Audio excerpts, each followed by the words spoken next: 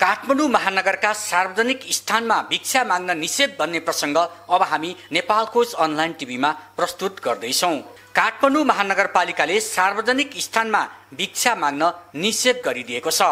महानगरपालिकाले शुक्रबार सार्वजनिक सूचना प्रकाशित गर्दै साधु सन्त जोगी वा भिक्षुले सनातनदेखि चलिआएको परम्परा अनुसार घर घरमा पुगेर भिक्षा माग गरेमा वा कुनै धार्मिक वा सांस्कृतिक कार्यमा माग्ने बाहेक अन्य अवस्थामा भिक्षा माग्न निषेध गरिएको जानकारी दिएको छ।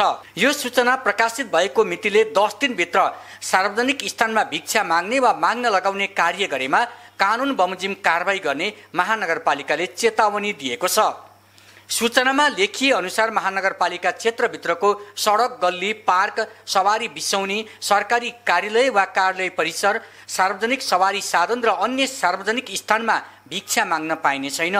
साथै बालबालिकालाई गीत गाउने नाच्ने खेल्ने वा कुनै काम गर्ने बाहनामा वा अन्य व्यक्तिलाई कुनै प्रकारको रकम वा ज्याला दिई भिक्षा माग्न वा माग्न लगाउन पाइने छैन।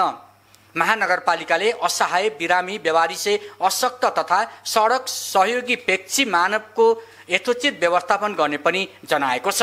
मानव सेवा आश्रमको आवश्यक परेमा महानगरपालिकामा सम्पर्क गर्न पनि भनिएको छ।